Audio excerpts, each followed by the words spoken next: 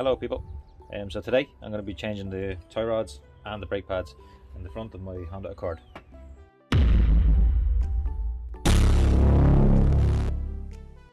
So welcome to another video anyway. My name is Gavin, this is GPTV and I'm going to be doing, as I said to you already, I'm going to be doing the tie rods which are these here and as you can see my ones are really really bad, really bad and then I'm going to be changing my brake pads as well. Now my brake pads on this side they look okay but they are grinding when I when I drive so I'm assuming that they're they're gone.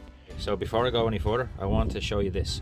Get one of these. This is a, this is an Allen key okay it's a T7 or a 7 millimeter Allen key but this one has um, a quarter inch uh, socket thing on it but basically it goes in here okay now if if you use one of these Allen keys you won't get enough leverage on it. So that's why that's why I have this one with a socket on it so that it's, it's just easier to do it. But anyway it comes off here. So you have to pull this piece off here and it's only a little cap as you can see. And then this piece goes in here like like like like like like like that. And then socket. That's it so that'd be my first tip is to get one of these with a socket attachment because it just make it so much easier. Um so do that. Do that. Okay so all you got to do is slot that in there and loosen it. Ah that hurt. But i'm okay. See how easy that is. Look how easy that is. Anyway that will release the carrier and you can just slot that off. The this this I don't know why they design things like this but this here this pulls out I'll do it in a minute I'll show you. Anyway just remove this first. And then there is another one right here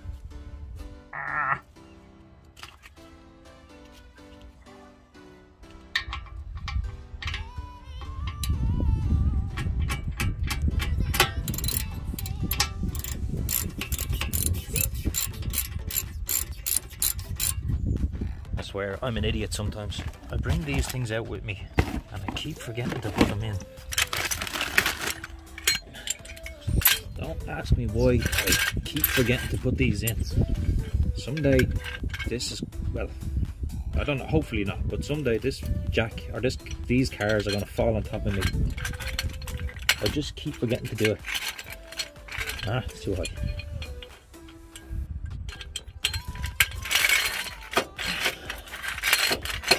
In. Here we go. That lip. No, hold on. Wait, wait, wait, wait, wait, wait, wait, wait. Get in. Get in. There we go. Okay. Right, that'll do. Now, I did show you on the previous video that uh, on my Honda Stream RN6 that you have your disc here. You have your disc here, and then you can see the inside pad. So this is the pad, this is the piston. This is the rubber thing that pushes back. So you get your screwdriver in there. You can slowly. Ah, yeah, it has to be a nice strong screwdriver. This is not that strong, but I'll, I'll show you now in a minute what we're gonna do. You see there? You can see a little bit of light in there. That's separating the disc from the pad. And if you separate the disc from the pad, then you will reset your piston and you don't have to have a piston tool, a piston reset tool. Firstly though, firstly, open this cap. I think this is the easiest way of doing it. I think this is the easiest way of doing it because sometimes if you open this bleed valve, bleed nipple, you can tread this part here and you'll have to buy a whole new bleed valve or air can enter in here while the brake fluid or pressure is coming out um, it's a little bit awkward. Like some people do it this way and some people do it the way I do it but I think the way I do it is just it works for me so I'm going to keep doing it this way. Yeah you're probably better off getting something like this is a chisel and it's nice and strong. It's just hard steel. So you're probably better off getting something really hard because my screwdriver just keeps um keeps flexing. See the light there? Okay that's fully reset there but that's you don't need any brake brake reset tools or anything. No, I have them all, but I've always done it this way and it just works. It's easy. Now all you do is just release this, just get it, just get it over those little things here and then pull off everything all together. And okay, those pads look alright. Um, those pads look fine. There's no. Maybe it's the other side, but maybe the other side has a problem. But there's nothing wrong with these pads. I'm gonna put these back on. There's nothing wrong with them. I'm not changing them. Look how much meat is on them still. There's nothing wrong with them. Okay, save myself some money. Put it all back on. Ah, it.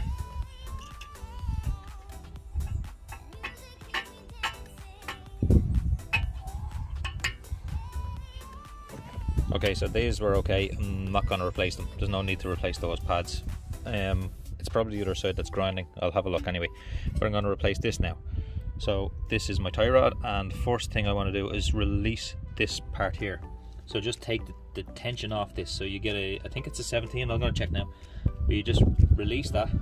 Don't unscrew it all the way, just a little bit, and then count the amount of times that you have to turn this as well. So I'll, I'll show you now. Okay, so this is actually a 19. It's not a it's not a 17 like I thought it was. It's a 19. So what you need to do is put it on. I, I need two hands for this.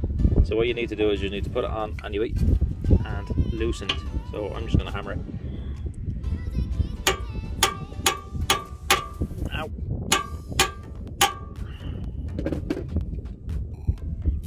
So that's all I need to do is just just a small loosen there like that to take the tension away from this one. And then you take off your cotter pin or your split pin. We call them in Ireland a split pin, but in different countries they call them a cotter pin. But you can see why we call them a split pin. So you just sort of prise it off a bit. Ah.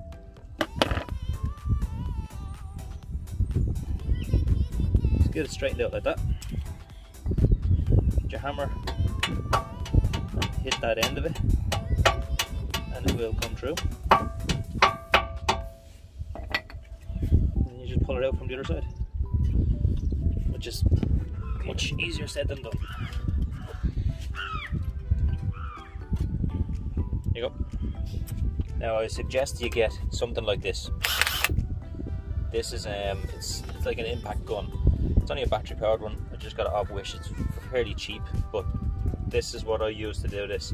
Because if you get your spanner and keep turning it, this whole this whole nut will keep turning. So you need to do it fast. You need one of these. Get one of these.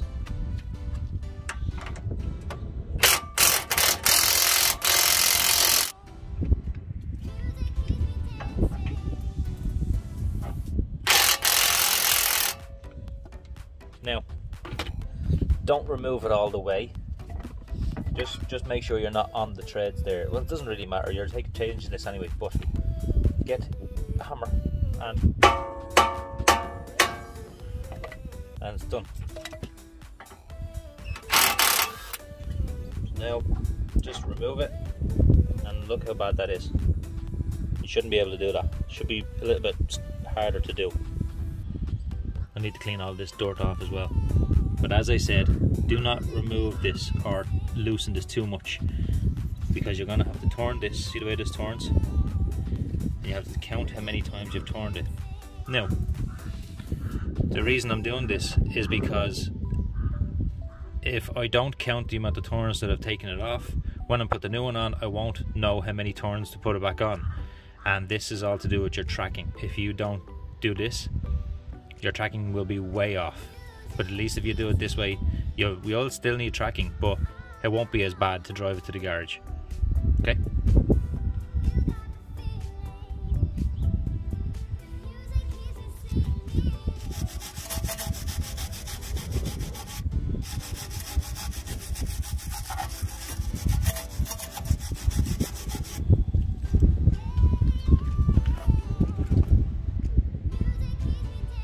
One fault horn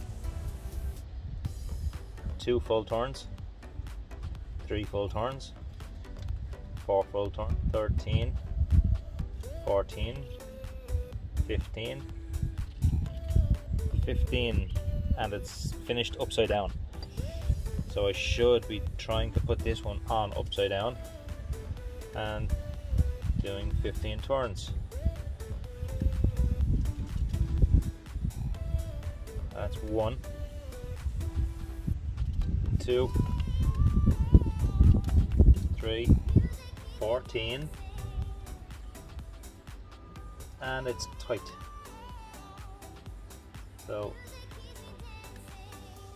15, just about 15. That should be right, should be okay. Shouldn't be too far off. Uh, as I said, you can see that you wouldn't, shouldn't be able to turn it too hard. In there, push it all the way down. Get your new. Some people call this a castle nut. You can see that the one I've taken off is not a castle nut. So put your castle nut on.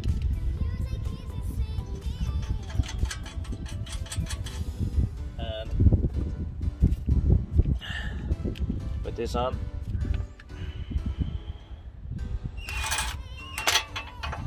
Right, this this new castle nut here is a 17, not a 19 like the old one. So it's a 17. Nice and tight. Now you put your new split pin in. And the, the purpose of the castle nut compared to this one is if the take this one back out. If for some reason the nut was to come loose, then the, the, the castle nut will stop the nut from turning because it'll slot into it. It's never happened to me in all the times I've done this, but there's always a first. So you put your split pin back in, your new split pin, and you split it.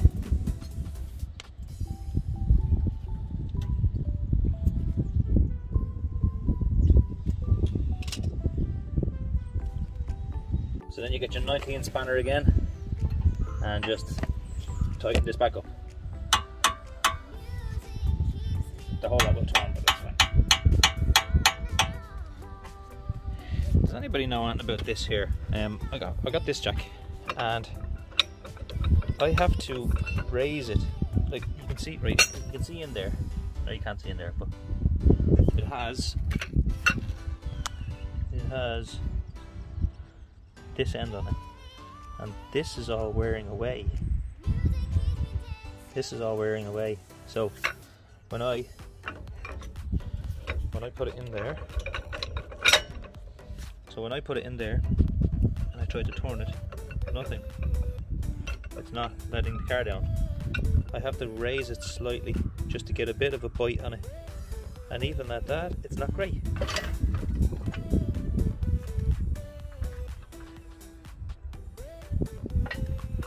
So if I if I want to tighten it up, I have to keep raising it up a little bit. And it's hard to explain it, but this part in here, this part in here is, I don't know if that's treading, or I think it's this that's treading, or not treading, but wearing away the shape of it. You understand? So if anybody has any ideas about this, that would be great. Need to tighten the wheels back up to 80 foot pounds.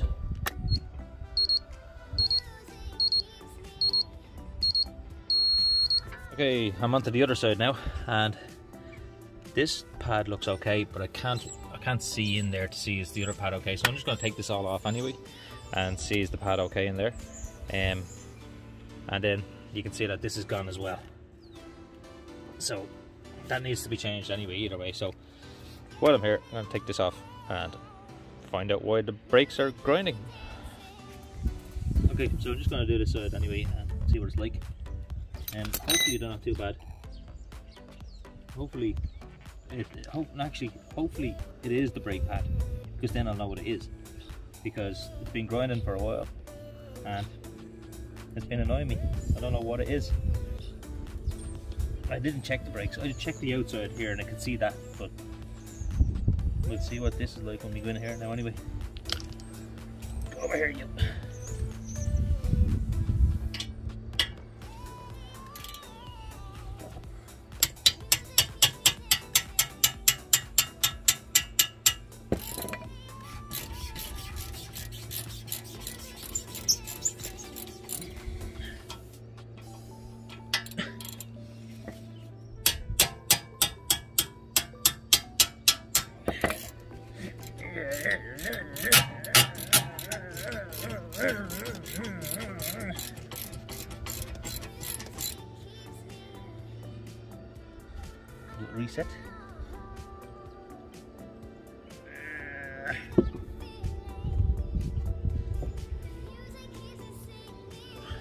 How quick it is when you're not filming anything? Well, you wouldn't know, you don't see this end of it. Job is easy. That's where the filming and editing comes in, that's the problem. It's a lot of work. And then you have to go into the SEO and do all the do all that stuff and all the tags and finding a thumbnail and finding the right um, description or the right uh, video title all of that stuff the job takes 10 minutes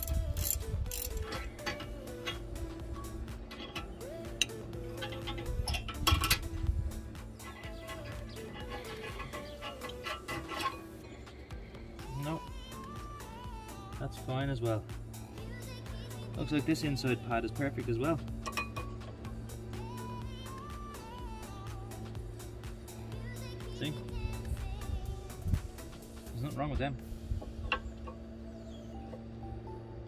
Just dirt. It must have been just dirt or something in there. Okay, put this back together. I don't know why my brakes were grinding. I'm assuming I'm assuming that there was just something on the on the disc or something, but it was grinding. So I don't know. I don't know. Sometimes you get a little bit of dirt in between the pad and the disc. Um, sometimes you get a little bit of dirt in between the pad and the disc and that can make the grinding sound. But I have no idea why it was grinding. I can't see any issues with it. The pads look all okay, the discs look all okay whatever. They work.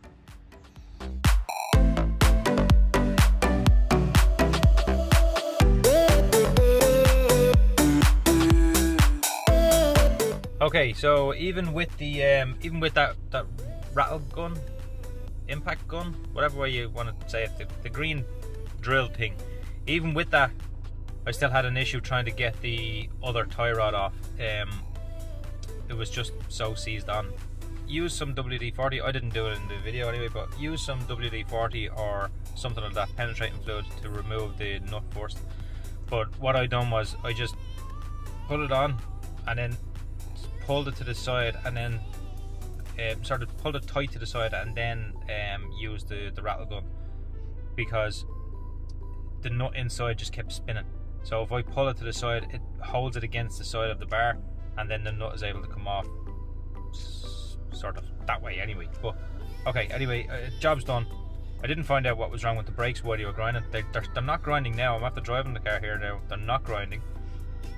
Um, maybe it was just some dust in there or dirt. Maybe I should have just changed them anyway. I mean, I have I had them there. I should have just changed them. I'll probably just do them myself during the week or something like that. If if the, if it is still grinding, I'm just gonna do it during the week. I won't need to do a video on it but that video is just to show you how to change them if you needed to change them which I didn't there you go the tracking I will need to get my tracking done even though I counted how many turns I had and so on the tracking is slightly off. I'll show you now. Okay so I'm in the center of the road here and I'm trying to drive as straight as possible. But if you look at the steering wheel it's just slightly off.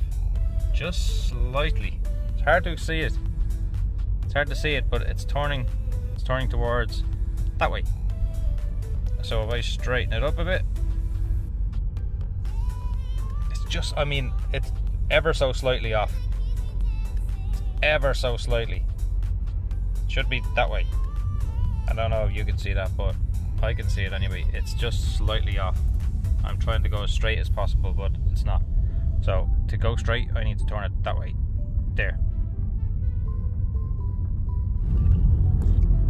So if anybody has any ideas of why my um my jack or, or what I can do with my jack because I could use I could, just use a, a socket set or something like that you know whatever a 19 socket or something maybe. But that just defeats the purpose of the whole point the, the jack in the first place. Like I want to be able to just jack it up and jack it down with the same bar. So and I don't have a welder so before anybody says weld a piece onto it or weld a socket onto it uh, so I can't weld a nut in there or something. I can't do anything like that. So has anybody got any ideas of what I could do in that situation? Let us know. So thanks for watching the video. Please like, comment, share and subscribe and um, come back for more fantastic videos by me.